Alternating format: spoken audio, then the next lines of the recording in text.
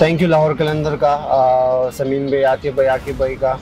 तो काफ़ी खुशी हो रही गिफ्ट मिल गया मुझे और ट्रॉफ़ी भी जीते अल्हम्दुलिल्लाह छः साल की मेहनत पूरी लाहौर कलंदर मैनेजमेंट की और प्लेयर्स की। मुझे किसी ने कहा कि यार पीएसएल में कभी हिस्ट्री में ऐसा नहीं हुआ कि कोई जीत बाकी टीमें भी जीती हैं कि किसी ने इस तरह का गिफ्ट किया हो।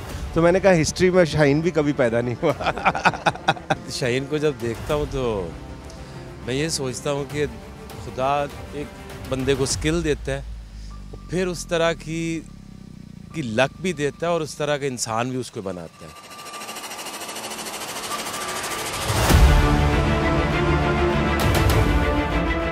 हमारे तो सामने अमर्जिंग से लेके अभी तो शहीद ने खुद कहा तो हमारे लिए बहुत फ़ख्र की बात है एक बच्चा छोटा सा आया था, आज वो हमारा कप्तान है, हमारा लीडर है।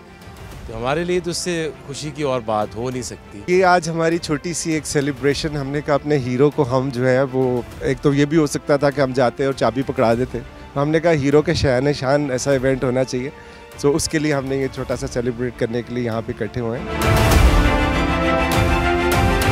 मैं हूँ कलंदर दिल से।